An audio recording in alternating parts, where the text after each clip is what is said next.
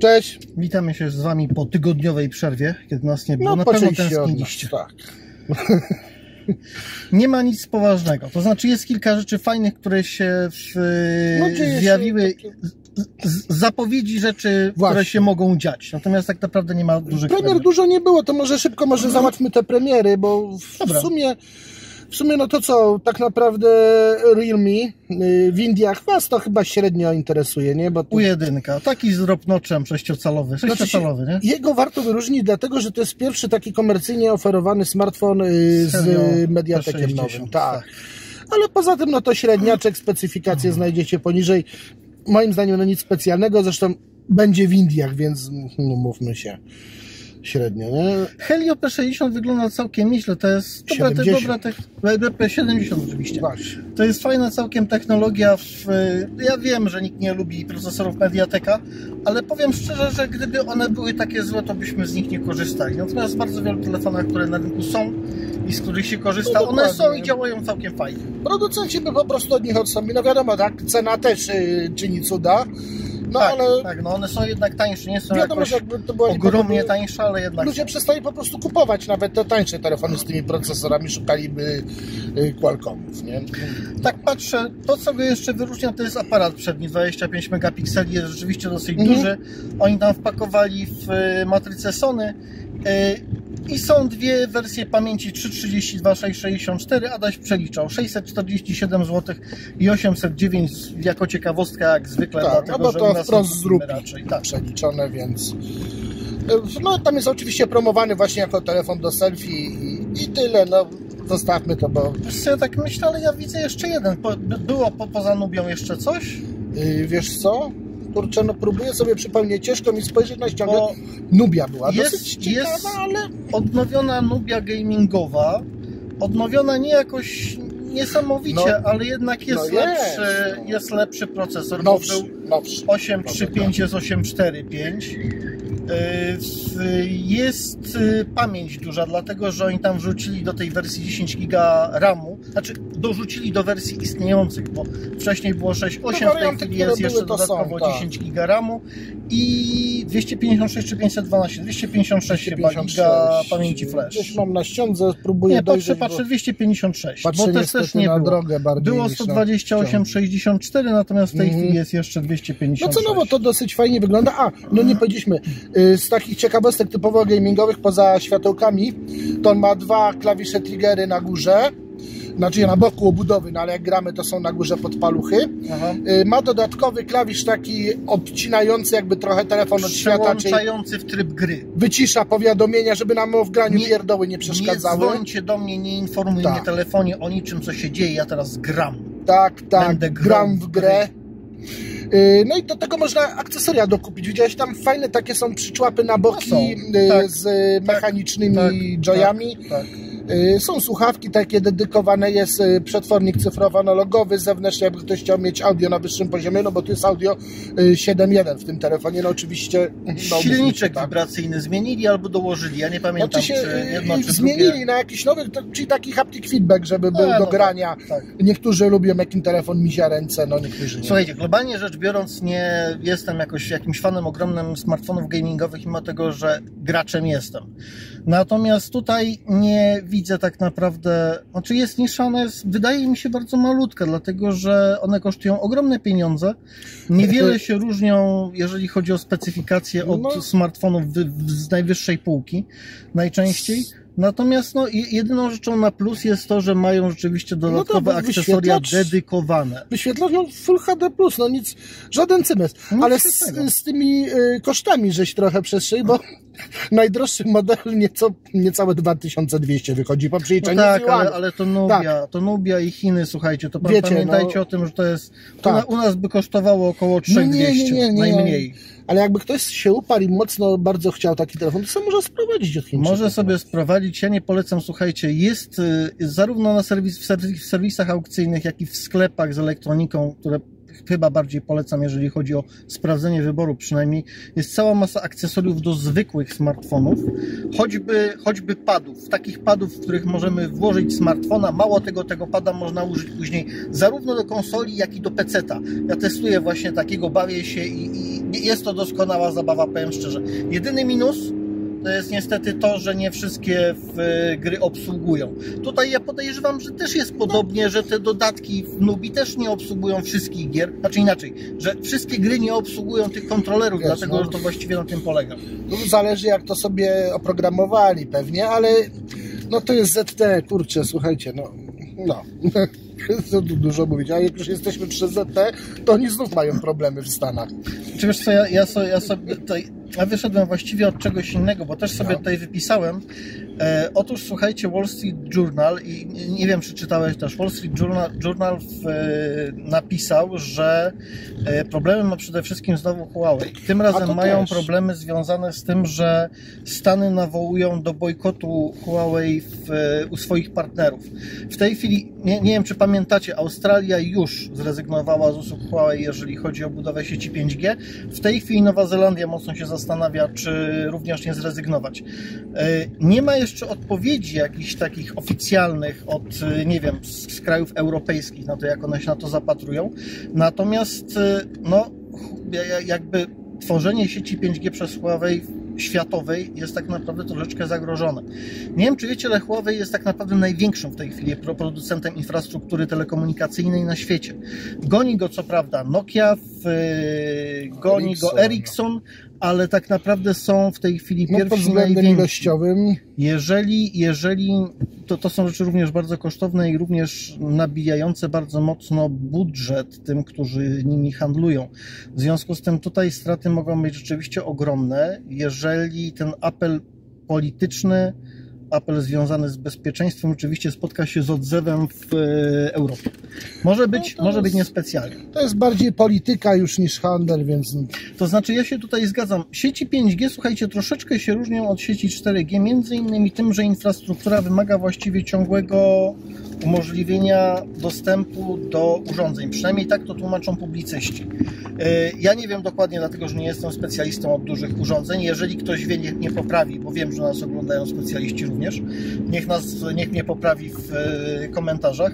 Natomiast e, jakby Amerykanie to tłumaczą tak, że ze względu na to, że poszczególne elementy infrastruktury wymagają ciągłego dostępu, ten dostęp nie może być restrykcyjnie ograniczony poprzez jakieś zasady albo urządzenia związane z bezpieczeństwem. W związku z tym jest obawa, że nadal producent czy też inne siły mogą po prostu mieć dostęp do, do tych urządzeń. No a pamiętajmy, że te urządzenia związane z telekomunikacją to jest klu- z kluczowych przemysłów w tej chwili na świecie. To, to, to ma armia, to mają siły cywilne, nie wiem, lotnictwo, elektrownie atomowe i wszystko inne. W związku z tym to nie jest banalny problem. To nie jest banalny problem i przy okazji również ZTE ma problemy. Tym razem oskarżyło ich dwóch senatorów, zdaje się, no tak, w USA o zwrócili uwagę- sprzedaż technologii Dela w Wenezueli. Ojej. oczywiście technologii. Podzespoły Dela po prostu wykorzystują w czymś, co sprzedają w Wenezueli, a znowu wenezuelski rząd ponoć y, kupuje jakąś infrastrukturę do inwigilacji obywateli. No i to się nie podobało, nie spodobało amerykańskim Okej. senatorom. No jakieś tam dochodzenie będzie. Na razie nie ma komentarza. Y, Dell, y, z tego co czytałem w Reutersie, zaprzeczył, że y, cokolwiek sprzedawał Tak, ZTE. tak, tak. ZT komentarza nie wydało. W sumie amerykański Departament Stanu też na razie nic na ten temat. Zobaczymy, jak się sytuacja rozwinie, ale no ja na miejscu ZT to już bym po prostu się zwijał ze Stanów i zapomniał. Jako ciekawostkę przeczytam Wam, wiem, że to jest średnio interesujące, to nie, nie, nie dotyczy jakby urządzeń, które są Wam bliskie, ale jeżeli chodzi o producentów infrastruktury telekomunikacyjnej, to tutaj wyliczono, że 22% rynku ma Huawei. Za nim jest rzeczywiście Nokia z 13%, to jest znacznie już mniej, Ericsson 11% i ZTE, które ma 10%. Także kolejny chiński producent, No, no, który no. tam jest i za moment też może się okazać, No że właśnie, ma no. nieciekawie zupełnie. Także możliwe, że się okaże, że infrastruktura jest jednak droższa, bo nie chińska. To jeszcze jedna pierdoła związana z Chinami, właściwie nie pierdoła, bo dla mnie to jest dosyć smutna informacja. E, Padło Gioni, Adam o tym napisał w, w No. zeszłym tygodniu. To jest taki producent chiński, którego nikt nie zna, którego ja akurat bardzo lubiłem. Więc to nikt nie zna, jednak ludzie znają. Tak, naprawdę? A pamiętacie taki model, chociażby iPhone Luna? A no tak, To tak. produkowało Gioni. Ja mówię o polskim Pierwszy, rynku. pierwszy smartfon o grubości 4,5 mm, nie, nie wiem czy To jest pamiętacie. To te, te też było On był u nas jako Olview do kupienia, pamiętam. Soul, tak. coś tam, coś tak, tam. Tak. Y, Innego Olview też y, produkowanego przez Gioni testowałem, całkiem przyzwoite najfajniejsze to jest, było. to jest, to jest jedyny smartfon Johnny, którego oni mi przysłali i w, ja go mam do tej pory i działa. Z chińskim interfejsem, z bardzo fajnymi kolorowymi ikonami, z bardzo fajnym wyświetlaczem AMOLED. Działa. Robili fajne rzeczy, ale się okazało, że te fajne rzeczy nie do końca dobrze się sprzedają. Porobili zaległości u, u dostawców podzespołów. No i wiecie, no poddostawcy w końcu się wpieklili, y, przez, wstrzymali im dostawy, przestali im dostarczać, nie ma części, nie ma z czego produkować i wszystko poszło. No jest tam pewnie jakieś postępowanie naprawcze, może, może w jakimś tam stopniu gdzieś się odrodzi to Gioni, ale no generalnie Gioni żegnamy. Pan, E, po, smutno. pozamiatane. Mnie szkoda, dlatego że robili naprawdę fajne smartfony. To były fajne, zwarte konstrukcje w momencie, kiedy Chiny nadal się kojarzyły z trzeszczącymi telefonami. Tak, to był Oni taki... robili naprawdę dopracowane, Pierwszy taki fajne Chińczyk, nie? Co. Tak. ty pamiętasz parę lat temu ładnych na MWC, jak żeśmy oglądali te telefony, tak. to wśród tego, tej Coś chińszczyzny, niesamowitego po prostu. gdzie za przeproszeniem, no nie wypominając niczego, ale smartfony Huawei jeszcze na nas wrażenia nie robiły, no to Gioni już wtedy robiło. Tak, i to, to, to, to, jest, to jest coś No, takiego, co trudno. sprawia, że troszeczkę szkoda. Ale to cóż, no, firmy się pojawiają, firmy znikają. Poplotkujmy troszeczkę, słuchajcie, o urządzeniach. Yy, o Nubii mówiliśmy. Wiem, co było dla mnie najciekawszą rzeczą w tym tygodniu. Co prawda nie to, żeby jakoś mnie niesamowicie, nie wiem, podekscytowało, ale ciekawa rzecz. Vivo Nex 2, yy, przeciek, słuchajcie, ze zdjęciami, Fajnie. z trzema aparatami fotograficznymi i z powtórką pomysłu Nubi, czyli z dwoma wyświetlaczami, jednym z przodu, drugi z tyłu.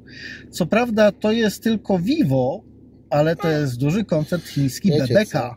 To jest Vivo, to jest Oppo, zdaje się, jeżeli się nie mylę, No prawda? to jest Vivo, W ale związku z tym to poszli za ZT, może, może się okaże, że pomysł że chwyci. zażarło. Ja powtarzam, że mi się pomysł Bo- bardzo podoba. Znowu powtórzmy, bo y, może wam tu umknęło jeden aparat potrójny, jeden, bo drugi jest niepotrzebny, skoro selfiaka możemy strzelić tym aparatem tylnym, bo mamy na tyle wyświetlacz normalny, nie tam jakiś e-ink czy coś, tylko normalny, pełnofunkcjonalny, kolorowy wyświetlacz. Znaczy Adasiowi chodzi o to, że trzy obiektywy z jednej strony telefonu tak, po prostu. no, no, no.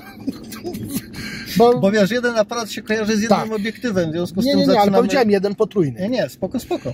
Tak, tak, no i oczywiście wysówka, tak, bo to też... Yy... A właśnie ja nie jestem pewien, czy on jest wysuwany Wiesz co? wcale.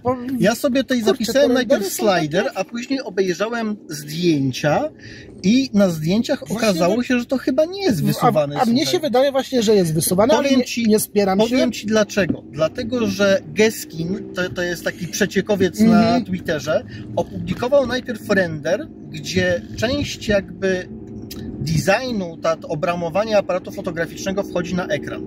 Ale na opublikowanych później zdjęciach tego obramowania nie ma i ono nie wchodzi na ekran. Kurczę, no... Stąd jakby mam przekonanie, że to nie jest slider. Mimo Ale- tego, że wygląda troszeczkę, bo... Słuchajcie, to są rendery w zasadzie fanowskie, no bo... Znaczy, jedno jest render, drugie są zdjęcia, słuchaj, te, te, te, tak, A, zdjęcia okej. są. Mało te tego, w newsie takie- mamy zdjęcia. Wiesz co, ja Także- właśnie, no to te zdjęcia to mi wiele nie powiedziały, ale wiecie, ja jestem mało spostrzegawczy. Ja, ja je dzisiaj specja, specjalnie się nim blisko, blisko przyglądałem, bo napisałem sobie najpierw slider. Mi się zdało, że slider, pamiętałem te, Mhm. te rendery Geskina, a później stwierdziłem, że chyba jednak nie slider, ale zobaczymy. E, to dobrze, że ty się przyglądasz zdjęciom. widzisz, Zobaczymy, bo nie wiem tak naprawdę. Jakoś- Na razie nie ma ani specifikacji, ani zapowiedzi, kiedy to może być. W każdym razie mówimy Wam, że kolejny smartfon z dwoma wyświetlaczami prawdopodobnie ujrzy światło dzienne, ujrzy półki sklepowe przede wszystkim. Myślę, że po prostu ujrzy, no bo to kwestia tylko kiedy on się pojawi, czy jeszcze w tym roku, czy, yy, czy dopiero yy, po nowym roku. Całkiem, całkiem spory przeciek pojawił się dotyczący w Nokia 8.1, y, tej, tej, No. która była nazywana Phoenix. Właściwie wszystko wyciekło. Wyciekła Ale- specyfikacja, wyciekły rendery. Oni zapowiadają... Grafiki promocyjne, takie te, Tak. co na stronę idą, no sporo To, są, to jest jeden z tych y, modeli, które będą miały premierę w grudniu, 5 grudnia w Dubaju, przepraszam Was bardzo. Tak, ale jakbyście chcieli wiedzieć, co to dokładnie jest, to tak naprawdę to jest e, rebranding e, takiego modelu Nokia X7, No, y, który, który jakiś czas temu tam błysnął w Chinach, więc to Także- będzie po prostu także- wersja globalna. je, je, jeżeli błys, ale błysnął w Chinach, to znaczy jest w sprzedaży już, No, no bo ja nie pamiętam. Nie, nie, szczerze, jest, to jest, była premiera. To jeżeli była premiera, to mamy tak, go w katalogu. Przeleciał, Właściwie tak, dokładnie. Dokładnie link w opisie. Ja sobie wypisałem, że Snapdragon 710, że ekran 6,18 cala, Full HD+, że aparaty 12 plus 13, z przodu 8, aparaty, chyba, Zeissa aparaty chyba inne są, o ile dobrze pamiętam. Oczywiście podam, że przeciek też jest taki stuprocentowo prawdziwy i chyba wersję pamięci jakoś tam zamieszali, ale to sobie sprawdźcie, bo mówię z głowy, no ruch trochę się Pa, zrobił. pamięci nie pamiętam, pamiętam, że jest bateria 3,5 Znaczy, tam chyba któregoś wariantu nie ma, czy jest jakiś jeden więcej. Okej. Sprawdźcie sobie w każdym razie. I jeszcze jedna rzecz, która się ciekawa, która się pojawiła w przeciekach, to jest y, patent LG na Owijkę. matrycę, a, znaczy nie, owijka to za moment też, ale A. matrycę aparatową z 16 A, to obiektywami, też są miałem. prawdopodobnie 16 matrycami w związku z tym, bo nie sądzę, że, że żeby tam jakby kilka obiektywów na jednej matrycy. I wiecie co, to wcale nie jest głupie. To znaczy oni, słuchajcie, twierdzą, że fajnie jest, jeżeli tyle tych obiektywów damy w jednym miejscu, poobracamy je troszeczkę, popochylamy pod różnymi kątami, bo wtedy można zrobić coś, co daje wrażenie pseudo 3D. Daje możliwość Będziecie zrobienia sobie mogli obiekt zdjęć, obrócić na przykład, które- nie? No tak, no, oczywiście nie cały, bo No, ale nie, w nie pewnym zrobić stopniu. 360 stopni. Natomiast rzeczywiście ten obiekt będzie, będzie można go animować. On, przy, przynajmniej w teorii tak jest.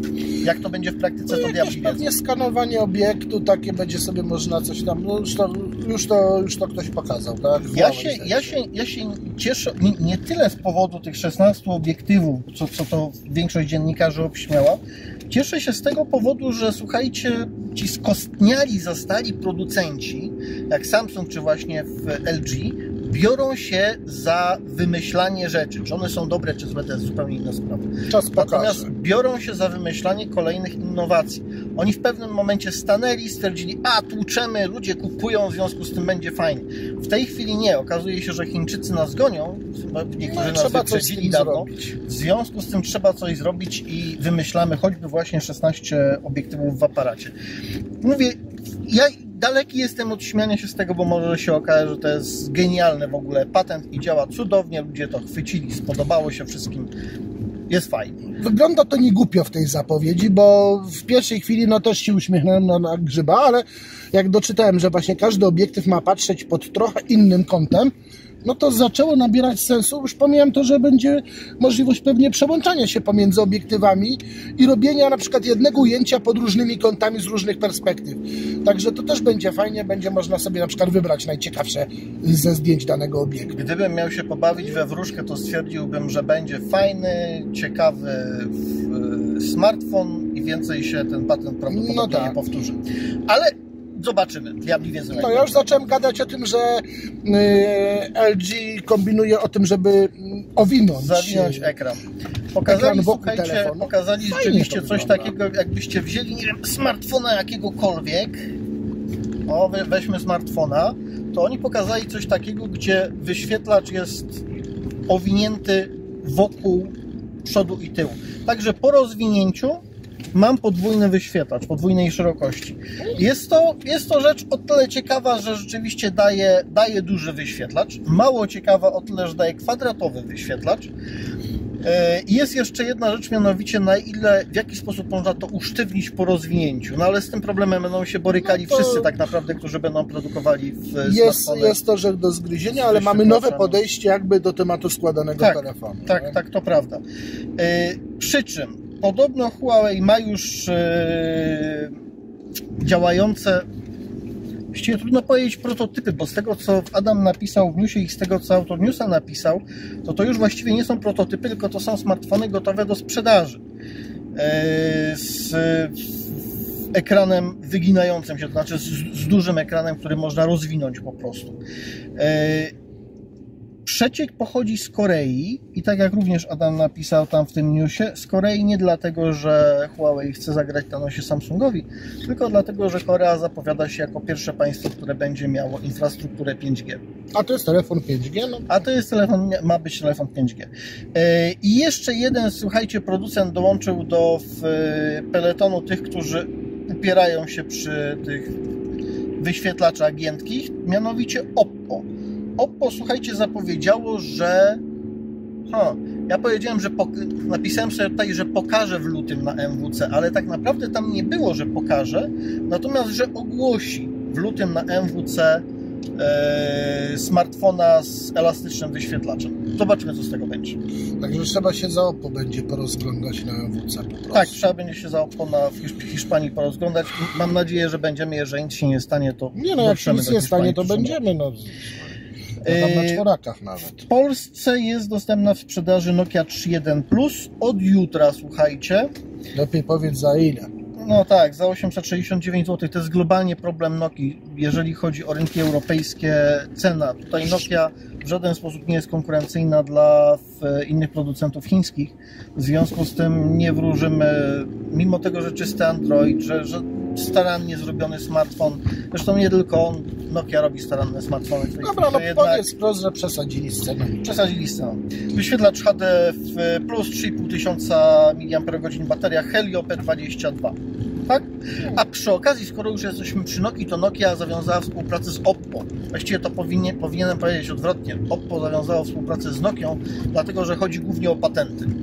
Tak jak czy- czytałem Wam tam, że No- Nokia jest jednym z głównych producentów infrastruktury nadal, mimo tego, że na rynku telefonicznym jej nie widać, to ma nadal sporo patentów, których Microsoft nie wyniósł kontenerach, No. pudłach kartonowych, które im, im nie, nie wynieśli. No i Oppo teraz sobie będzie korzystać, będzie Noki płacić i wszyscy Tak, będą I wszyscy, szczęśliwi. wszyscy będą szczęśliwi. Nokia nie będzie musiała radość. niczego robić poza tym, że sprzeda po prostu na czas jakiś. No ma stały swoje- dopływ kasy od Oppo, no, a, Tak. Oppo, a Oppo już A- wie, co z tym zrobić. A wiesz, że, wiesz, że przy, przy okazji Xiaomi zawiązało współpracę z Ikeą. Ja czytałem, gdzie na przykład robią Tak, takie, takie zamki elektroniczne i to, to dałoby się sprzedawać. Lampy mają, No. też by się Nie dało no, sprzedawać. Xiaomi ma ogromny ten swój ekosystem. Co prawda u nas Tak. to jest skraweczek, Nie, bar, bardzo mały dostępny, a w Chinach sprzedają tego od cholery po prostu potwornej W ilości. każdym razie to sm- smartfony ma to jest niewielki, niewielka część ich produkcji rzeczywiście w dużej mierze W sprzedają. każdym razie uspokajamy, y, układ Xiaomi z Ikeą wcale nie oznacza, że teraz telefony Xiaomi będziecie musieli sobie sami złożyć. Ciekawsze, ciekawsze jakby rzecz związana z,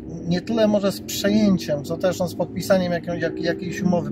Podpisali umowę z Mate'u, które nie jest ogromną firmą chińską, jednakże jest firmą rozpoznawalną w Chinach. Nie Meizu, tylko Meitu. E. Oni, oni robią takie oryginalne, dosyć design, designersko smartfony z e, dużą ilością Tak, strasznie charakterystyczne. aparatów, e, znaczy z bardzo widocznymi właściwie aparatami, powinienem powiedzieć, bo to nie jest jakaś duża ilość, są po prostu po dwa tym. To raz, a dwa to oprócz tego w Chinach oni jeszcze bardzo popularną mają aplikację swoją firmową, y, która robi z buziek y, A, tak, tak, ludzi, tak, y, tak. prze, prze, przerabia ich na mangę, no tak w sk- w skrócie ujmując, no robi kreskówki i tam można animować, króliczkiem być i tam inne tam takie, księżniczką jakąś z japońskiej baśni. Pojawiło się, słuchajcie, pojawiło, pojawiło się w e, chińskim urzędzie telekomunikacyjnym e, certyfikacja dla Lenovo Z5S e, 6,3 cale Full HD+, bateryjka ponad 3000 mAh. Nie wspominałbym, bo to nie wygląda na smartfona jakiegoś niesamowicie istotnego, gdyby nie niesamowite podobieństwo tyłu tego smartfona do P20 Pro Huawei. Ty, ty go widziałeś, kojarzysz? Tak, tak, tak. Układ aparatów wygląda identycznie. Gdybym zobaczył je dwa obok siebie w sklepie, prawdopodobnie bym się Nie, nabrał. no. Przynajmniej, przynajmniej na zdjęciach wyglądają. Jak znam Lenovo, to to wcale nie będzie tak wyglądać, jak teraz Na, na renderach wygląda w każdym razie bardzo podobnie. Dobra, bo cie- śmieję się, bo swego czasu Lenovo zapowiada taki super, hiper bezramkowy No tak, telefon, tak, a jak tak. pokazali to się, wszyscy... że ramki ma tak. No, dlatego tak się nabijam trochę z tych E, renderów. z kolei, słuchajcie, przejdźmy do smartfonów z dziurką, jak ja je nazywam. Oj, będzie tego, szykujcie się Będzie, będzie smartfonów z dziurką sporo. Huawei zapowiada na grudzień. Prawdopodobnie to będzie Nokia 4 z dziurką w ekranie. Samsung oczywiście zapowiada Galaxy A8s z trzema aparatami z tyłu, jednym z przodu z dziurką, w dziurce w ekranie. S10 też ponoć ma mieć dziurę. S10 ma mieć dziurkę tylko na, na, na środku chyba z kolei. Bo te, te mają tak, z boku, tak, te tak, mają... no, Z, źle pokazuję. U was to będzie z tego, czy, czyli z... W rogu mają bardziej, a ten ma mieć na środku. A w ogóle to Honor Przodem też, patrzycie, to po lewej stronie ekranu. robili urodziny jakiemuś chińskiemu piosenkarzowi. I nawet I tam pokazali Ale, ale to nowa scenie. 4 właśnie była chyba. A to o nowej 4 mówisz. Nowa- tak, no tak, faktycznie 4 Huawei Honor, faktycznie to był Huawei Eee, Honor. I jeszcze Meizu się dołączyło do tego z modelem 16S z nowym Snapdragonem 8150, No. tylko że oni zapowiadają tego smartfona dopiero na maj. W związku Tak, z ale tym minie sporo, sporo czasu. Jest zanim- render, zanim na renderze oczywiście wygląda super, no a w rzeczywistości no zobaczymy no. No, czy jest render, nie mamy pojęcia, czy jest prawdziwy oczywiście. No tak, bo to jest z biały. przecieków ten render, więc y, ciężko wyczuć. A jak już przy przeciekach jesteśmy, to przecieka Pixel 3 Lite, czyli taki tańszy, tudzież mniejszy Pixel, bo zdania są podzielone. Chcecie A tak, małego miał być piksela? tańszy piksel rzeczywiście. Chcecie małego piksela, naprawdę? Chcecie w ogóle piksela? Znaczy ja Dobra. wiem, one mają fajne aparaty fotograficzne. okej. 5,56 y, cala ekran. No oczywiście y, aparat y, super, hiper jak najbardziej, y, ale Snapdragon 674 GB RAMu, 32 GB bez możliwości rozbudowy, no trochę lipa. No on wypłynął w Rosji. Poprzednio, poprzednie piksele z tego samego źródła wypłynęły i były, sprawdziło się, więc ja bym uważał, ale mnie Wyda, kompletnie wydaje nie. mi się, że Google przestało zwracać uwagę tak naprawdę baczniejszą Coś- na ten swój dział zajmujący się smartfonami, dlatego że trzeszczy tam jakoś, tam sypie się próchną, słuchajcie.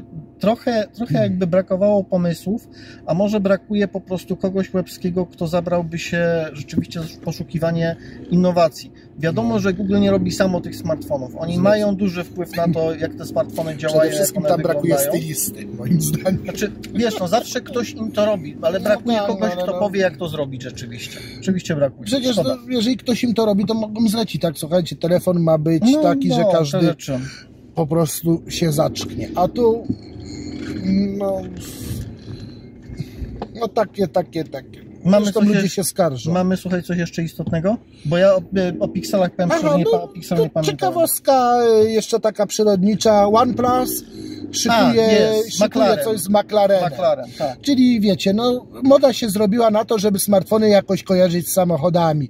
Yy, Huawei w to poszedł już dawno, yy, kiedyś BlackBerry, bo to chyba w sumie od BlackBerry z Porsche się zaczęło, nie? Jeżeli Tak, dobrze pamiętam, pamiętam. 9 grudnia chyba w Londynie zapowiadają, a później No. w Mumbaiu, dawnym Bombaju, w Indiach. Tak. dzień później będzie, będzie również Yy, premiera. No, Oppo mamy z tym, z Lambo, A, wa, warto wspomnieć, będzie 10 giga RAMu w nim podobno. podobno. Będzie podobno 256 giga pamięci flash i coś jeszcze, coś jeszcze miałem. No pewnie będzie logo McLarena A, no ozdóbka oczywiście, że- żeby było widać, że to jest McLaren. Ale dementujemy plotki, jakoby dodawali gratis McLareny do tego. No nie, niestety nie, bo wtedy bym sobie kupił taki telefon. Jest jedna rzecz na koniec jeszcze, która mnie troszeczkę zasmuciła, nie to żeby bardzo, bo nie używa się w ten sposób smartfonów, ale oglądałem, bo jestem stałym oglądaczem Jerego na YouTubie, Jerry Rick Every- Everything, e, który miał w rękach e, Huawei Mate 20 Pro i on go niestety złamał. Słuchajcie, zawsze mnie serce boli, jak on łamie te smartfony, ale rzeczywiście konstrukcja jest taka, mimo tego, że konstrukcja jest jakby zwarta dosyć, wyświetlacz zachodzący na boki najwyraźniej nie trzyma na tyle mocno tego, żeby nie dało się złamać. A Jerry to mocno wygina. On, On, to, mocno on to wygina, a pociesz się, że iPad Pro złamał się dużo szybciej, a ty po prostu na swoim smartfonie nie siada. Nie, Ja nie, tam- nie, nie, nie. Ja, słuchajcie, jestem, jestem daleki od tego, żeby w jakikolwiek krytykować y, model. Ja nigdy tego nie robię w przypadku Nie, ale to nie jest krytyka. rozwiązań. No, po Natomiast zwracam Wam uwagę. jako ciekawostkę, że konstrukcja jest po prostu taka, jaka jest, w związku z tym należy Mm. uważać na trzymanie smartfona choćby Nie na tyłku noście tak, nie noście Mate'ów, ani w zasadzie żadnych innych smartfonów, chyba że macie tak. jakiegoś mm, pancerniaka. Albo śpicie na pieniądzach stać was na kupienie sobie od tak a chyba, że nie lubicie swojego smartfona i chcecie mieć pretekst, żeby się zmienił, bo Tak, wiecie, bo można. to ja wam podpowiem, to się robi tak, tłuczecie telefon i idziecie, kochanie, zobacz, zbiłem telefon, muszę kupić nowy. A wtedy żona mówi, tak, no kup sobie, no jak już popsułeś. I protip, nie? nie wiem, ja tak robię z samochodami. Y, Skończyły nam się niestety czarne piątki, nie było nas w, czarne, w czarny weekend tak naprawdę w, z wami, w związku z tym trudno było cokolwiek powiedzieć. Trochę, trochę szkoda, mam nadzieję, że nie wydaliście wszystkich. Kupiłeś coś? Udało ci się? Nie, wiesz co, nie, przepraszam. Kupiłem jedną grę na Steamie. Kup- No Taki ja byłem kupiłem, dzielny. ale ni- nic z elektroniki. Natomiast no, nie, jakoś te deale w Polsce nie... No, no nie, nie, nie, nie, nie, nie, nie. Żegnamy się z wami polecając chyba na koniec y, Adama Test. Adam wziął trzy pancerniaki. Oczywiście dwa pancerniaki plus Samsunga. Nie, no Nie, to, ten. Samsung też jest pancerniak. I, bez a, tam, powiem Ci, że on mnie akurat zaskoczył, bo dosyć długo wytrzymał. Bo, Nie, no bo, no bo umówmy się, umówmy się, że to jest akurat bardzo fajna linia Samsunga, natomiast a, su- myśmy dzisiaj, a nie, mówiliśmy coś o Samsungu. Mówiliśmy, znowu będzie, że nam zapłacili. Spoko. W każdym razie Adam zrobił dosyć duży test, fajnie się go czyta, w związku z tym polecam wam. Zajrzyjcie, jest tam, e, są tam dwie, dwa urządzenia, które są dostępne na polskim rynku i są robione przez polskich producentów No i Samsung. i Samsung. No i jest wideo, jak je rozwalam, także myślę, że Napiszcie mu od razu, co tam robi źle, bo on nie, nie, nie wie, czy coś zrobił źle w tym teście, to mu napiszcie, jeżeli coś zrobił źle. Pozdrawiamy was, trzymajcie się, miłego weekendu. Cześć. cześć, cześć.